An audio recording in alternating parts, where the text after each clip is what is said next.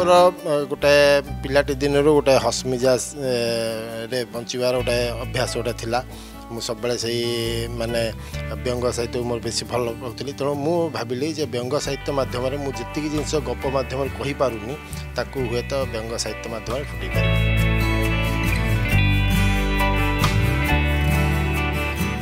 କେବଳ ବିଦ୍ରୁପ କରିବାଟା ବ୍ୟଙ୍ଗ ସାହିତ୍ୟର କାମ ନୁହେଁ केवल जन को मानने नीचा देखार क्या गोटे छोट देखार व्यंग साहित्य आद भूमिका नुहे ता बदले से जो समाज जो विसंगति प्रति जो दृष्टि आकर्षण करवाक चाहिए ताको मध्य भी एवं स्पष्ट भाव से से विसंगति गुड़ाक भी देख पार जहाँ समाज प्रचलित भाव जब चली जाए साधारण कथा जहाँ समस्त को ଦୃଶ୍ୟ ହୁଏ ନାହିଁ ଗୋଟେ ବ୍ୟଙ୍ଗକାର ସେଇଟା ଦେଖିପାରେ ଗୋଟେ ବ୍ୟଙ୍ଗ ଯେତେବେଳେ ଲେଖୁଛି ଜଣେ ମୋ ମତରେ ସିଏ ସବୁଠୁ ଅଧିକ ସଚେତନ ଏବଂ ବେଶୀ ପାଠ ପଢ଼ିବା ଉଚିତ ଆଳ୍ପିକ ଅଙ୍ଗ ବିଜ୍ଞାନ ସାହୁ ଏବଂ ବ୍ୟଙ୍ଗକାର ଅଙ୍ଗ ବିଜ୍ଞାନ ସାହୁ ଭିତରେ ଯଦି କୁହାଯାଏ ତାହେଲେ ବ୍ୟଙ୍ଗକାର ହିସାବରେ ମୋତେ ଯଦି କିଏ ସମ୍ବୋଧନ କରେ ତାହେଲେ ମୁଁ ବେଶୀ ଅଧିକ ଖୁସି ଏବଂ ବେଶୀ ଗର୍ବିତ ଅନୁଭବ କରେ नमस्कार म राधाराणी स्वागत गरु अर्गज न्युज कु सत सबुबले अप्रिय तेबे सब बेले सत देखै आसिछु बेला बेला एउटा आम समचनारि शारेछु आक्रोश रिकारु तेब सत देखि सत कु निज लेखा माध्यम रे अन्य सम्मुख रे आण गोटे लेखकर काम सही कामको कि केही ढङ्गले करे ବିଭିନ୍ନ ପ୍ରସଙ୍ଗକୁ ଭିନ୍ନ ଭିନ୍ନ ଢଙ୍ଗରେ ଆପଣମାନଙ୍କ ସମ୍ମୁଖରେ ଉପସ୍ଥାପନ କରିବା ସେହି ଲେଖକର ମୌଳିକ କର୍ତ୍ତବ୍ୟ ବୋଲି ଆମେ ସମସ୍ତେ ଜାଣିଛେ ତେବେ ଚାଲନ୍ତୁ ଆମେ କଥା ହେବା ଏପରି ଜଣେ ଲେଖକଙ୍କ ସହିତ ଯିଏ ସମାଜର ଭିନ୍ନ ଭିନ୍ନ ପ୍ରସଙ୍ଗକୁ ନିଜ କଲମ ମାଧ୍ୟମରେ ଗୋଟିଏ ଭିନ୍ନ ଢଙ୍ଗରେ ଆମ ସମସ୍ତଙ୍କ ପାଖରେ ଉପସ୍ଥାପନା କରୁଛନ୍ତି ଏବଂ ବଜାରକୁ ଏବେ ଏବେ ତାଙ୍କର ବହିଟିଏ ଆସିଛି ସତ୍ୟଶ୍ଚ अप्रियश्चुबे अप्रिय कि सत को ग्रहण को पढे आम सहित अहिले लेखक ओङ अभिज्ञान साहुसहित कथाहे पचारि बुझ्ज सतको अप्रिय बोली जाने कोभल भावे प्रसङ्गको निज लेखा स्थान समस्त पाखे परिचित हुन्छ आपणको स्वागत गरुछु अर्गस न्युज कुरा म प्रथम प्रश्न अप्रिय सतको कहिबार साहस कोठु जुटैले म ଗପ କବି ଗପ ଏବଂ ପ୍ରବନ୍ଧ ସବୁ ଲେଖି ବସିଥିଲି ମୁଁ ଗୋଟିଏ କ୍ଷେତ୍ରରେ ଚିନ୍ତା କଲି ଯେ ମୁଁ ଯାହା କହିବା ପାଇଁ ଚାହୁଁଛି ତାକୁ ଗପ ମାଧ୍ୟମରେ ହୁଏତ ମୋତେ ସେତିକି ସ୍ପେସ୍ ମିଳୁନାହିଁ ତେଣୁ ମୁଁ ଏବଂ ମୋର ଗୋଟେ ପିଲାଟି ଦିନରୁ ଗୋଟେ ହସ୍ମିଜାରେ ବଞ୍ଚିବାର ଗୋଟେ ଅଭ୍ୟାସ ଗୋଟେ ଥିଲା ମୁଁ ସବୁବେଳେ ସେଇ ମାନେ ବ୍ୟଙ୍ଗ ସାହିତ୍ୟକୁ ମୋର ବେଶୀ ଭଲ ପାଉଥିଲି ତେଣୁ ମୁଁ ଭାବିଲି ଯେ ବ୍ୟଙ୍ଗ ସାହିତ୍ୟ ମାଧ୍ୟମରେ ମୁଁ ଯେତିକି ଜିନିଷ ଗପ ମାଧ୍ୟମରେ କହିପାରୁନି ତାକୁ ହୁଏତ ବ୍ୟଙ୍ଗ ସାହିତ୍ୟ ମାଧ୍ୟମରେ ଫୁଟେଇ ପାରିବି କାରଣ ବ୍ୟଙ୍ଗ ସାହିତ୍ୟର ବ୍ୟାପକତା ବହୁତ ମାନେ ତା'ର ପରିଟା ବହୁତ ବ୍ୟାପକ ତେଣୁ ବ୍ୟଙ୍ଗ ସାହିତ୍ୟ ମାଧ୍ୟମରେ ମୁଁ ଭାବିଲି ସେସବୁ ଜିନିଷକୁ ପ୍ରସଙ୍ଗ ଗୁଡ଼ାକ ମୁଁ ଉଠାଇ ପାରିବି ଠିକ୍ ଭାବେ ଉଚିତ ନ୍ୟାୟ ଦେଇପାରିବି ଯାହା ମୁଁ ଗପ ମାଧ୍ୟମରେ କି ପ୍ରବନ୍ଧ ମାଧ୍ୟମରେ ଦେଇପାରୁନାହିଁ ଯେଉଁ ପ୍ରସଙ୍ଗକୁ ଆପଣ ସମସ୍ତଙ୍କ ସମ୍ମୁଖରେ କହିବା ପାଇଁ ଚାହୁଁଛନ୍ତି ସେହି ପ୍ରସଙ୍ଗକୁ କହିବା ପାଇଁ ଆପଣ ଆପେ ଆପେ ବାଛିନେଲେ ବେଙ୍ଗ ସାହିତ୍ୟକୁ ଏହି ସାହିତ୍ୟ କ୍ଷେତ୍ରରେ ଆମେ ଯଦି କହିବା ସାହିତ୍ୟ ପଢ଼ିବା ସାହିତ୍ୟକୁ ବୁଝିବା ଗୋଟିଏ କଷ୍ଟକର ବିଷୟ ମନେ ହେଉଥିବା ସମୟରେ ବେଙ୍ଗ ସାହିତ୍ୟ ଛୋଟଠୁ ବଡ଼ ସମସ୍ତଙ୍କ ଦ୍ୱାରା ଗ୍ରହଣୀୟ ହୋଇପାରିଛି ଏଇ ଯେଉଁ ବେଙ୍ଗ ସାହିତ୍ୟରେ ଆପଣ ରଚନା କରିବା ସମୟରେ ବିଭିନ୍ନ ପ୍ରସଙ୍ଗକୁ ବିଭିନ୍ନ ଢଙ୍ଗରେ ଉପସ୍ଥାପନ କରିବା ସମୟରେ ଆପଣ ନିଜକୁ କେତେ ଏଡ଼ିଟ୍ କରିଛନ୍ତି କାରଣ ଆମେ ଯାହା କହିବା ପାଇଁ ଚାହୁଁଛୁ ଯାହା ସତ ତାକୁ ଘଷି ମାଜିକି କହିବାର ଆବଶ୍ୟକତା ରହିଛି ବର୍ତ୍ତମାନ ସମୟରେ ଆପଣ କେତେ ଘଷି ମାଜି ହୋଇଛନ୍ତି ନିଶ୍ଚିତ ଭାବରେ ମୁଁ କହିବି ଯେକୌଣସି ସାହିତ୍ୟ ହେଉ ସେ ଗପ ହେଉ କିମ୍ବା ପ୍ରବନ୍ଧ ହେଉ କବିତା ହେଉ କିମ୍ବା ବ୍ୟଙ୍ଗ ସାହିତ୍ୟ ହେଉ ସାହିତ୍ୟ ରଚନା କଲାବେଳେ ସାହିତ୍ୟିକ ତା'ର ସାମାଜିକ ଦାୟିତ୍ୱବୋଧ ପ୍ରତି କେବେ ବି ଭୁଲିଯିବା ଉଚିତ ନୁହେଁ ଏବଂ ସଚେତନ ରହିବା ଉଚିତ ଯେ ସେ ଯାହା ଲେଖୁଛି ତା ଦ୍ୱାରା ସମାଜରେ କୌଣସି ଖରାପ ପ୍ରଭାବ ପଡ଼ୁନି କିମ୍ବା ଖରାପ କୌଣସି ଗୋଟେ ଦିଗ ପ୍ରତି ସେ ତାକୁ ବେଶୀ ପ୍ରମୋଟ୍ କରୁନାହିଁ ତେଣୁ ମୁଁ ଯେତେବେଳେ ବ୍ୟଙ୍ଗ ସାହିତ୍ୟ ଲେଖେ ସେତେବେଳେ ମୋ ଭିତରେ ସେ ସଚେତନ ଅଧିକ ବରଂ ଅଧିକ ଥାଏ କାରଣ କେବଳ ବିଦ୍ରୁପ କରିବାଟା ବ୍ୟଙ୍ଗ ସାହିତ୍ୟର କାମ ନୁହେଁ କେବଳ ଜଣକୁ ମାନେ ନିଚା ଦେଖେଇବାର କାହାକୁ ଗୋଟେ ଛୋଟ ଦେଖେଇବାର ବ୍ୟଙ୍ଗ ସାହିତ୍ୟର ଆଦୌ ଭୂମିକା ନୁହେଁ ତା ବଦଳରେ ସେ ଯେଉଁ ସମାଜର ଯେଉଁ ବିସଙ୍ଗତି ପ୍ରତି ଯେଉଁ ଦୃଷ୍ଟି ଆକର୍ଷଣ କରିବାକୁ ଚାହୁଁଛି ତାକୁ ଶାଳୀନତା ମଧ୍ୟରେ ବି ଏବଂ ସ୍ପଷ୍ଟ ଭାବରେ ସେ ସେ ବିସଙ୍ଗତି ଗୁଡ଼ାକୁ ବି ଦେଖେଇ ପାରିବ এবং সেটিকে দেখবার সৎসাহস রখা উচিত এবং এপ্রতি সচেতন রহা উচিত যে সে যা যে বিসঙ্গতি প্রতি আঙ্গুলি নির্দেশ করুচি সেপরি সমাজরে কোণী প্রকার গোটে ভুল মেসেজ যেমনি তা ন যাও সেপ্রতি সে ব্যঙ্গ সাহিত্যিক মানে মু ভাবছি বোধে অন্য সাহিত্য প্রতি সাহিত্যিক মান অপেক্ষা বেশি সচেতন এপ্রতি হওয়া উচিত বলে তেমন মু যেতবে লেখে মু বহু সচেতন থাকে जे से प्रति जे मुझा लिखा चाहूँगी कि जहाँ कहवापी चाहूँगी कि जो विसंगति जो प्रोब्लेम गुड़ाक मुझे आड्रेस करवाई चाहूँगी से द्वारा जमी समाज में कौन गोटे मो द्वारा कौन गोटे भूल मेसेज न जाऊ निहाती भाव में जो कथा कहते हैं कलम धरी लिखा समय आम समस्ते सचेतन रहीबार आवश्यकता रही कारण आम लेखा को लोक पढ़ु सचेतन होगापी पढ़ु लोक सचेतन करने आम कलम धरी आ व्यंग सहित कथा कहले आमें କାହାକୁ ଗୋଟିଏ କେବଳ ସମାଲୋଚନା କରିବା ପାଇଁ ନୁହେଁ ଗୋଟିଏ ନୂଆ ପରିବର୍ତ୍ତନର ଧାରା ସୃଷ୍ଟି କରିବା ପାଇଁ ସମାଲୋଚନା କରୁଛେ ବିଭିନ୍ନ ପ୍ରସଙ୍ଗକୁ ନେଇକି ଏହି ଯେଉଁ ବହିଟି ଆପଣ ପ୍ରକାଶ କରିଛନ୍ତି ଏହି ବହି ପ୍ରକାଶ କରିବା ପରେ ପାଠକୀୟ ଅଭିମତ ଆପଣ କେଉଁ ଦୃଷ୍ଟିରେ ଗ୍ରହଣ କରିଛନ୍ତି କାରଣ ଆପଣ ଯେଉଁ କଥା ଅନ୍ୟମାନେ ଦେଖୁଛନ୍ତି ଏବଂ କହିବା ପାଇଁ ଚାହୁଁଛନ୍ତି ସେହି କଥାକୁ ଆପଣ ରଖିଛନ୍ତି କେତେବେଳେ ମନ୍ କି ବାତ୍ କେତେବେଳେ ପାଞ୍ଚ ଟଙ୍କିଆ ଡାଲମା କଥା ଆପଣ ବହିରେ ସ୍ଥାନିତ କରିଛନ୍ତି ସେ ବିଷୟରେ ଆପଣ କ'ଣ କହିବେ ଯେ ପାଠକ ଏସବୁ ପ୍ରସଙ୍ଗ ପାଠକଙ୍କର ପ୍ରସଙ୍ଗ ଆପଣ ସେଇ କଥାକୁ କହିଛନ୍ତି କହିବା ପରେ ପାଠକୀୟ ଅଭିମତ କେମିତି ଗ୍ରହଣ କରିଛନ୍ତି ବହୁତ ଭଲ ମୋର ପାଠକୀୟ ଅଭିମତ ମୋତେ ମାନେ ପ୍ରଶଂସା ମିଳିଛି ଲୋକମାନେ ଏ ବହିଟିକି ବହୁତ ଆଦର ବି କରିଛନ୍ତି ଅଳ୍ପ ଦିନ ଭିତରେ ବହି ଏତେ ସଫଳତା ପାଇବା ବି ଏ ନିଶ୍ଚିନ୍ତ ଭାବରେ ଗୋଟିଏ ଶୁଭସୂଚକ ମୋ ପାଇଁ ଏବଂ ମୋ ପାଇଁ ଗୋଟେ ନିଶ୍ଚିତ ଭାବରେ ମୋତେ ବହୁତ ଏନକରେଜ୍ କରିଛି ଏଇ ଜିନିଷରେ ଯେ ପାଠକମାନେ ଙ୍କର ତରଫରୁ ବହୁତ ଭଲ ପାଇବା ମିଳିଛି ଯେ ବ୍ୟଙ୍ଗ ସାହିତ୍ୟ କହିଲେ ଯେଉଁ ମାନେ ମୁଁ ବି ସେମିତି ଲେଖିଛି ପତି କେବଳ ସ୍ତ୍ରୀ ଏବଂ ଶାଳୀ କିମ୍ବା ଶାଶୁ କିମ୍ବା ଭ୍ରଷ୍ଟ ରାଜନୈତିକ ଏଇମାନଙ୍କଠୁ ଉର୍ଦ୍ଧ୍ୱକୁ ଯାଇକି ବି ବ୍ୟଙ୍ଗ ସାହିତ୍ୟ ରଚନା କରାଯାଇପାରେ ଏବଂ ବ୍ୟଙ୍ଗ ସାହିତ୍ୟ କହିଲେ କେବଳ ହିର୍ସାଙ୍ଗୀ ନୁହେଁ ତେଣୁ ସେ ଯେଉଁ ମାନସିକତା ଲୋକମାନଙ୍କ ଭିତରେ ରହିଛି ତାକୁ ପରିବର୍ତ୍ତନ କରିବା ପାଇଁ ମୁଁ ଯେଉଁ ମୋର ଗୋଟେ ନୂତନ ଶୈଳୀଟି ମୁଁ ତିଆରି କରିବା ପାଇଁ ଚେଷ୍ଟା କରୁଛି ତାକୁ ଲୋକମାନଙ୍କ ପସନ୍ଦ କରିଛନ୍ତି ଲୋକମାନେ ଭଲ ପାଇଛନ୍ତି ଏବଂ ସମାଜର ସବୁ ସ୍ତରର ଲୋକ ଯେଉଁମାନେ ସିରିୟସ୍ ପଢ଼ିବା ପାଇଁ ମାନେ ରିଡ଼ିଂ କରୁଛନ୍ତି କିମ୍ବା ଯେଉଁମାନେ କେବଳ ସାଧାରଣ ହସ କଥା ପାଇଁ ବି ପଢ଼ୁଛନ୍ତି ବ୍ୟଙ୍ଗ ସାହିତ୍ୟକୁ ସେମାନେ ସମସ୍ତେ ସବୁ କ୍ଷେତ୍ରରେ ସବୁ ବର୍ଗର ଲୋକ ୟାକୁ ପସନ୍ଦ କରିଛନ୍ତି ସେଇଟା ମୋ ପାଇଁ ଗୋଟେ ବହୁତ ଖୁସିର ଖବର ଆପଣ ପାଠକୀୟ ଅଭିମତ ପାଇସାରିଛନ୍ତି ଯେ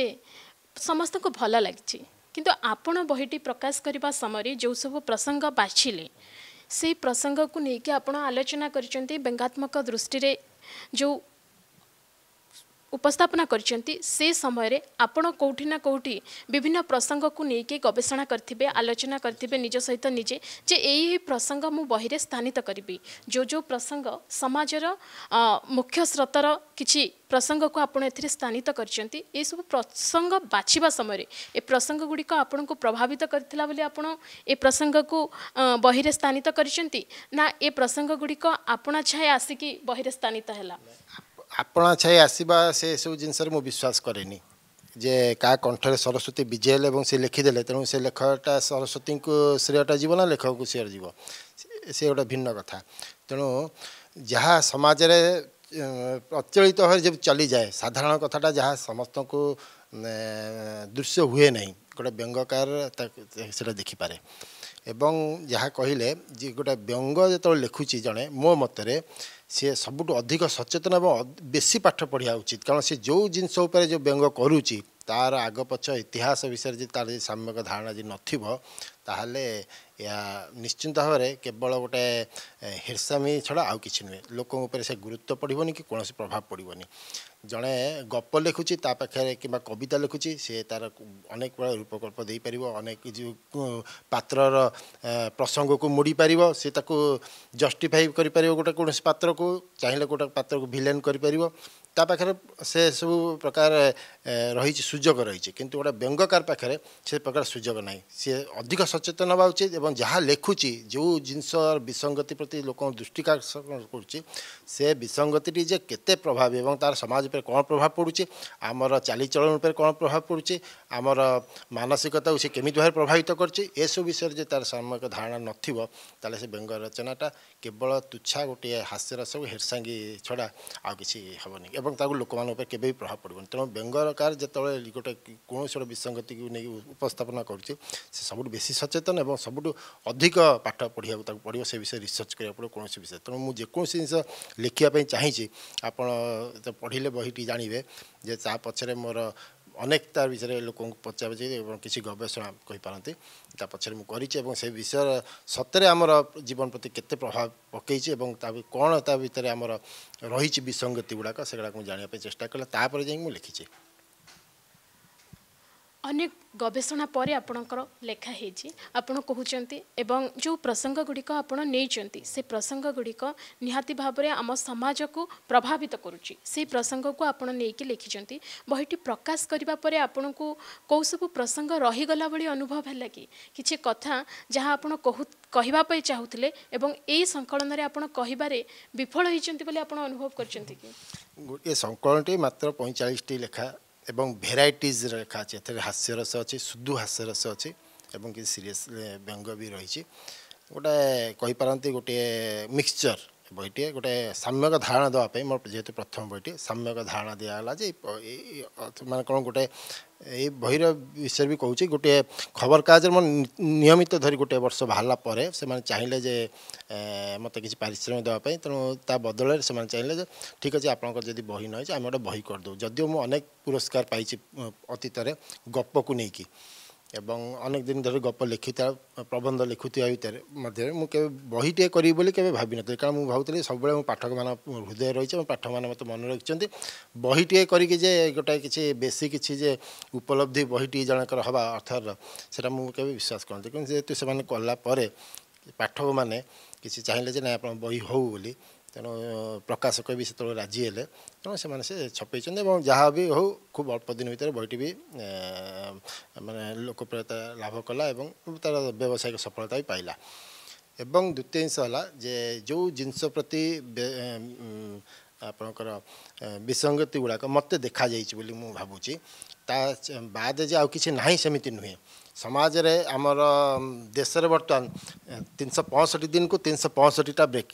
ᱟᱩ ଥ୍ୟାଙ୍କସ୍ ଟୁ ଲାଟେଜ୍ ଆମର ବର୍ତ୍ତମାନ ଯାହା ରାଜନୈତିକ ଅବସ୍ଥା ଦେଶର ଅର୍ଥନୈତିକ ଅବସ୍ଥା କୁହନ୍ତୁ କି ସାମାଜିକ ଚଳିଚଳନ ଅବସ୍ଥା କୁହନ୍ତୁ କିମ୍ବା ପାରମ୍ପରିକ ଯାହା ଅବସ୍ଥା ଦେଖନ୍ତୁ ପ୍ରତିଦିନ ବର୍ତ୍ତମାନ ଏଠି ଗୋଟେ ଗୋଟେ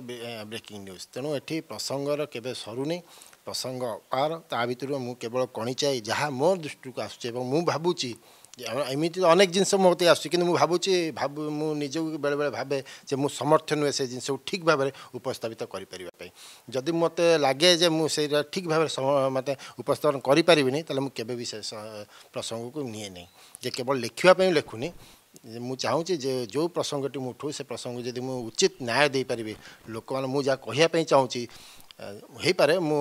କୌଣସି ୟୁନିଭର୍ସାଲ୍ ଟ୍ରୁଥ୍ ନୁହେଁ ହୋଇପାରେ ମୁଁ ଭୁଲ ହୋଇପାରେ ସେଥିପାଇଁ ମୁଁ ସବୁବେଳେ ତର୍କକୁ ଆଲୋଚନାକୁ ସ୍ୱାଗତ କରେ ଫେସବୁକ୍ରେ ଯେତେବେଳେ ଦେଇଛି ଯେତେବେଳେ କିଛି ଲୋକ କିଛି ଅନ୍ୟ ମନ୍ତବ୍ୟ ଦେଇଛନ୍ତି ମୁଁ ବି ତାକୁ ଫେସ୍ କରିଛି ଏବଂ ତାକୁ ମୋର ମୋର ମନ୍ତବ୍ୟଟା ମୁଁ ସେଠି ରଖିଛି କିନ୍ତୁ ଏମିତି ଅନେକ ପ୍ରସଙ୍ଗ ରହିଛି ଅନେକ ବ୍ୟଙ୍ଗକାରମାନେ ଆସୁଛନ୍ତି ବର୍ତ୍ତମାନ ସେମାନେ ଅନ୍ୟ ବିଷୟରେ ଲେଖୁଛନ୍ତି ବ୍ୟକ୍ତିଗତ ଭାବରେ ଯେଉଁ ପ୍ରସଙ୍ଗ ପ୍ରତି ମୁଁ ଭାବେ ଯେ ମୁଁ ଉଚିତ ନ୍ୟାୟ ଦେଇପାରିବି ମୋ ଲେଖା ମାଧ୍ୟମରେ ମୁଁ ସେଇ ସେଇ ପ୍ରସଙ୍ଗ ଗୁଡ଼ା ନିଏ ଗୋଟିଏ ଲେଖକ ପାଇଁ ପ୍ରସଙ୍ଗ ବାଛିବା ଏବଂ ସେହି ପ୍ରସଙ୍ଗରେ ନିଜକୁ ଠିକ୍ ଭାବରେ ଉପସ୍ଥାପନା କରିବା ନିହାତି ଭାବରେ ଗୁରୁତ୍ୱପୂର୍ଣ୍ଣ ଆଉ ବର୍ତ୍ତମାନ ଆପଣ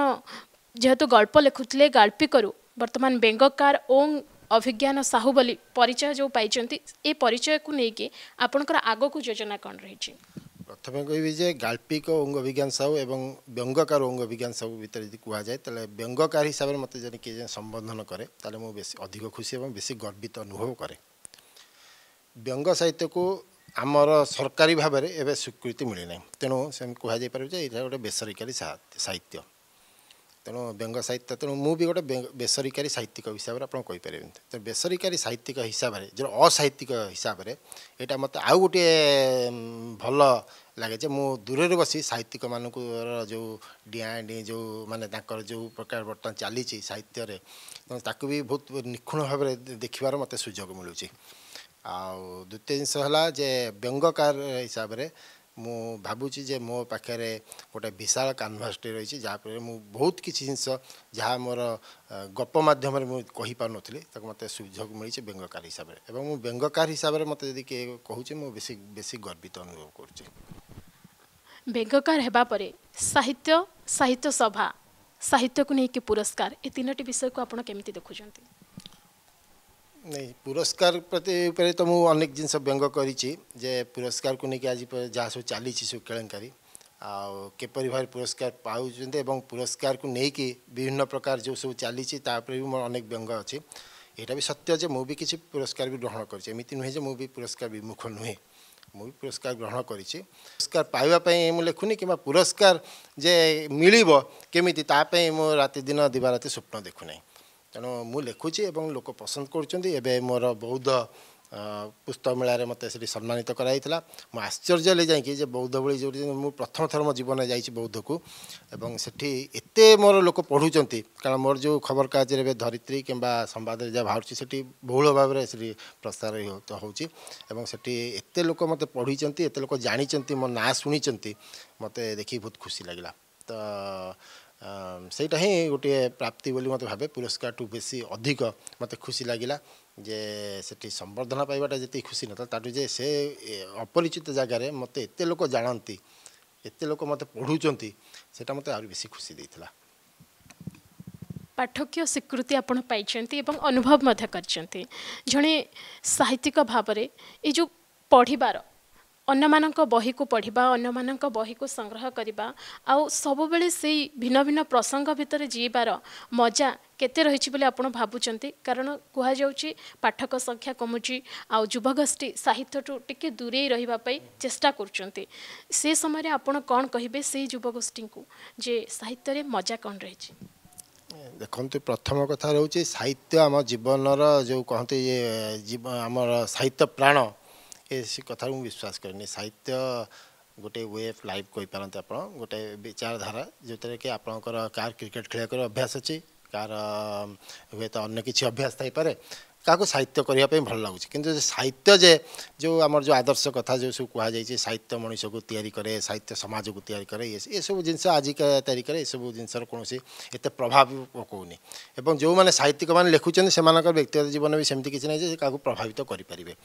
ଏବଂ ତୃତୀୟ ଜିନିଷ ରହିଲା ଯେ ସାହିତ୍ୟ ନହେଲେ ଯେ ମଣିଷର ଅନ୍ୟ କିଛି କରିପାରିବନି ସେମିତି ବି କିଛି ମୁଁ ଭାବେ ନାହିଁ ଏବଂ ଯେଉଁ ଯୁବଗୋଷ୍ଠୀମାନେ ଆପଣ ଭାବୁଛନ୍ତି ଯେ ସାହିତ୍ୟ ପ୍ରତି ବିମୁଖ ଆଦୌ ନୁହନ୍ତି ଯେତେବେଳେ ମୁଁ ଏତିକି ଆପଣଙ୍କୁ କହିବି ଯେ ଯେଉଁ ଆମ ସମୟରେ ଆମେ ଧରି ନିଅନ୍ତୁ କୋଡ଼ିଏ ବାଇଶ ବର୍ଷ ବୟସରେ ଆମେ ଯେଉଁ ବହିଗୁଡ଼ା ସବୁ ଦେଖୁଥିଲୁ ଆଜିକା ତାରିଖରେ ଆଫ୍ଟର ସ୍କୁଲ୍ ପିଲା ପିଲାମାନେ ସେମାନେ ସେ ପଢ଼ୁଛନ୍ତି ଢେର ପଢ଼ୁଛନ୍ତି ବହୁତ ପଢ଼ୁଛନ୍ତି ହଁ ମୋତେ ପଢ଼ୁନାହାନ୍ତି ବୋଲି ଯଦି ମୁଁ କହିବି ଯେ ସାହିତ୍ୟ କେହି ପଢ଼ୁନାହାନ୍ତି ତାହେଲେ ଏଇଟା ଅଲଗା କଥା ସାହିତ୍ୟ ପଢ଼ୁଛନ୍ତି ବେଶୀ ପଢ଼ୁଛନ୍ତି ତାଙ୍କ ପସନ୍ଦର ଜିନିଷ ପଢ଼ୁଛନ୍ତି ଫେସବୁକ୍ ଏବଂ ସବୁ ସୋସିଆଲ୍ ମିଡ଼ିଆ ଆସିବା ଦ୍ୱାରା ଏତିକି ଆଡ଼ଭାଣ୍ଟେଜ୍ ହେଇଛି ଲୋକଙ୍କ ପାଖରେ ଅପସନ୍ସ ରହିଛି ଲୋକ ଯାହାକୁ ଚାହିଁବେ ତାକୁ ପଢ଼ିପାରିବେ ସିଏ ଦରକାର ନାହିଁ ଯେ ସିଏ କେବଳ ମାନେ ପ୍ରତିଷ୍ଠିତ ଲୋକ ହେଲେ ପଢ଼ିବେ ତାକୁ ନାହିଁ ତେଣୁ ସାହିତ୍ୟ ବହୁତ ପଢ଼ୁଛନ୍ତି ବହୁତ ତା'ର ପଢ଼ା ହେଉଛି ଲେଖା ବି ହେଉଛି ମୁଁ ସେ ସବୁ ଜିନିଷକୁ ସ୍ୱାଗତ କରୁଛି ଯେ ଯେତେ ଲେଖା ବି ହେଉଛି କାରଣ ଗୋଟେ ପ୍ରଭାବ ଭିତରେ ଅନେକ ଲୋକ ଆସିବେ ଅନେକ ଲୋକ ଯିବେ କିନ୍ତୁ ପାଠକ ଆସ୍ତେ ଆସ୍ତେ ଆସ୍ତେ ଆସ୍ତେ ତା'ର ସେ ସମାନକ୍ରମେ ଯିଏ ଶ୍ରେଷ୍ଠ ଯିଏ ଯାହାକୁ ପସନ୍ଦ ହେବ ଲୋକ ତାକୁ ହିଁ ରଖିକି ରଖିବେ ତେଣୁ ଆମେ ବର୍ତ୍ତମାନ ସଙ୍କୁଚିତ ନ ହୋଇଯାଉ ଆମେ ଯେ କେବଳ ଭଲ ସାହିତ୍ୟ ହିଁ ଆସୁ ଭଲ ଖରାପ ଗୋଟେ ଆକ୍ଷେପିକ ଶବ୍ଦ ଆପେକ୍ଷିକ ଶବ୍ଦ ସେଥିରେ କୌଣସି ଭଲ ଖରାପ ନାହିଁ ସମସ୍ତେ ଆସନ୍ତୁ ସମସ୍ତେ ଲେଖୁଛନ୍ତି ଆଉ ପଢ଼ିବା ଜିନିଷରେ ମୁଁ କହିବି ବହୁତ ପଢ଼ୁଛନ୍ତି ମୋତେ ନ ପଢ଼ିଲେ ଯେ ପଢ଼ୁନାହାନ୍ତି ବୋଲି ମୁଁ କହିବି ଯେ ସାହିତ୍ୟ ପଢ଼ୁନାହାନ୍ତି ମୋ ବହି ବିକ୍ରି ହେଉନି ବୋଲି ନୁହେଁ ଯେ ସାହିତ୍ୟ ବହି ବିକ୍ରି ହେଉନି ପ୍ରବଳ ବହି ବିକ୍ରି ହେଉଛି ପ୍ରବଳ ପଢ଼ୁଛନ୍ତି ପିଲା बहुत ए पढ महार जिसि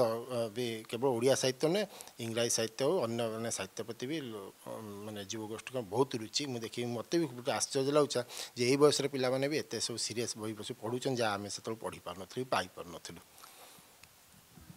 बहुत भए कहले जे साहित्य ସମସ୍ତଙ୍କ ଜୀବନରେ ରହିଛି ସମସ୍ତେ ସାହିତ୍ୟ ପଢ଼ୁଛନ୍ତି ଆମେ ଯଦି ଭାବୁଛେ ଯେ ପାଠକ ସଂଖ୍ୟା କମୁଛି ତାହା ନୁହେଁ କିନ୍ତୁ ମାଧ୍ୟମ ବଦଳି ଯାଇଛି ବହି ଛାଡ଼ିକି ଲୋକ ସୋସିଆଲ ମିଡ଼ିଆରେ ସାହିତ୍ୟ ପଢ଼ୁଛନ୍ତି ଏହି ସମୟରେ ଆଉ ଗୋଟିଏ ପ୍ରସଙ୍ଗ ସାମ୍ନାକୁ ଆସୁଛି ଲେଖାଚୋରି ଏ ପ୍ରସଙ୍ଗକୁ ଆପଣ କେମିତି ଦେଖୁଛନ୍ତି ଲେଖିଛି ଲେଖାଚୋରି ହେଇଛି ଏବେ ଗୋଟିଏ ମୋର ବାହାରିବ ଏବେ ଅତି ନିକଟରେ ବୋଧହୁଏ ଆଗ ରବଦାର ସେଇଟା ହେଉଛି ଯେ ଶ୍ରଦ୍ଧାଞ୍ଜଳି ଚୋରି କେବଳ ଲେଖା ଗପ କବିତା ଚୋରି ହେଉନି ଶ୍ରଦ୍ଧାଞ୍ଜଳି ଏବଂ ଜନ୍ମଦିନ ଶୁଭେଚ୍ଛା ବାର୍ତ୍ତା ଏସବୁ ଚୋରି ହେଉଛି ନେଇ ଆଣି ଥୋଇ ଜାଣିଲେ ଚୋରି ବିଦ୍ୟା ଭଲ ସେଇଟା ହେଉଛି ଯେ ଆମେ ସମସ୍ତେ କୌଣସି ନା କୌଣସି କ୍ଷେତ୍ରରେ ଏମିତି କେହି ଲୋକ କହିପାରିବନି ଯେ କାହା ଦ୍ୱାରା ପ୍ରଭାବିତ ହୋଇନାହିଁ କୌଣସି ଲେଖା ସେ କେବେ ଜୀବନରେ ଅନ୍ୟ କୌଣସି ଲେଖକରୁ ଉଦ୍ଧୃତ କରିନି ଉଦ୍ଧୃତ କରିବା ପ୍ରଭାବିତ ହେବା ଏବଂ ଆଜ୍ ଇଟ୍ ଇଜ୍ ତାକୁ ନେଇକି ଗୋଟେ ଜାଗାରେ ଥୋଇଦେବା ସେଇଟା ଅଲଗା ଅଲଗା ଜିନିଷ ତେଣୁ ଚୋରି କରିବାଟାକୁ ମୁଁ ଭାବେ ଯେ ଯଦି କାହା ଦ୍ୱାରା ଲେଖା ଦ୍ୱାରା ପ୍ରଭାବିତ ମୁଁ ବି ଅନେକ ଲେଖକ ଦ୍ୱାରା ପ୍ରଭାବିତ ହୋଇଛି ଅନେକ ଲେଖା ଲେଖକଙ୍କଠୁ ମୁଁ କିଛି ଟିପ୍ସ ପାଇଛି ଏବଂ ଯାହାକୁ ମୁଁ ମୋର ଲେଖାରେ ପ୍ରତି ମାନେ ଲେଖିଛି ବି ଏବଂ ଉଦ୍ଧୃତ ବି କରିଛି କିଛି କିଛି ମୁଁ ତେଣୁ ସେମାନଙ୍କୁ ୱିଥ୍ ଡ୍ୟୁ ଆକ୍ନୋଲେଜ୍ କରିଛି ଯେ ଏଇ ଲେଖକ ଏହା କହିଛନ୍ତି ଏ ତାଙ୍କର ଏଇ ବହିରେ ଏହା ଲେଖିଛନ୍ତି କିନ୍ତୁ ଟିପିକି ଆଣିନି କିନ୍ତୁ ଯଦି ଟିପିକି ଯଦି ସିଧା ଆଣିବେ ତାହେଲେ ସେଇଟା ଖରାପ ବୋଲି ମୁଁ ନିଜେ ଭାବୁଛି କିନ୍ତୁ କଣା ଦ୍ୱାରା ପ୍ରଭାବିତ ହେବା ଏବଂ କାହାର ଛାୟାରେ କିମ୍ବା କାହାକୁ ମାନେ କୌଣସି ଲେଖା ପଢ଼ିକି ସେଥିରେ ଉଦ୍ବୁଦ୍ଧ ହୋଇକି ସେ ତା ସେଇ ଛାୟାରେ କିଛି ଲେଖିବାଟା ମୁଁ କେବେ ଖରାପ ବୋଲି ଭାବେନି ବହୁତ ସୁନ୍ଦର କଥାଟେ କହିଲେ ଯେ ଆମେ ଅନ୍ୟମାନଙ୍କଠୁ ପ୍ରଭାବିତ ହେଉ ଅନ୍ୟମାନଙ୍କଠୁ ଶିଖୁ ତା'ପରେ କିଛି କରୁ ନିହାତି ଭାବରେ ଏ ଧାରା ସବୁବେଳେ ଚାଲୁ କାରଣ ଅନ୍ୟମାନଙ୍କଠୁ ଦେଖିବା ଶିଖିବା ବୁଝିବା ଜାଣିବା କିଛି ଖରାପ ନୁହେଁ ତେବେ ଆମେ ସବୁବେଳେ ଟିକେ ସଚେତନ ହେବା କାରଣ ଆମେ ନିଜକୁ ସ୍ରଷ୍ଟା ବୋଲି କହୁଛେ ନିଜେ ସାହିତ୍ୟ ରଚନା କରିଛେ ବୋଲି ଯେଉଁ ପ୍ରଚାର କରୁଛେ ସେ ସମୟରେ ଟିକେ ସଚେତନ ହେବାର ଆବଶ୍ୟକତା ରହିଛି ଆଜିର ଆଲୋଚନାକୁ ଏଇଠି ରଖୁଛୁ ଆପଣଙ୍କୁ ଅନେକ ଅନେକ ଧନ୍ୟବାଦ ଆମକୁ ସମୟ ଦେଇଥିବାରୁ ପୁଣି ଥରେ ଦେଖାହେବ ଆଉ ଜଣେ ନୂଆ ଅତିଥିଙ୍କ ସହ ଧନ୍ୟବାଦ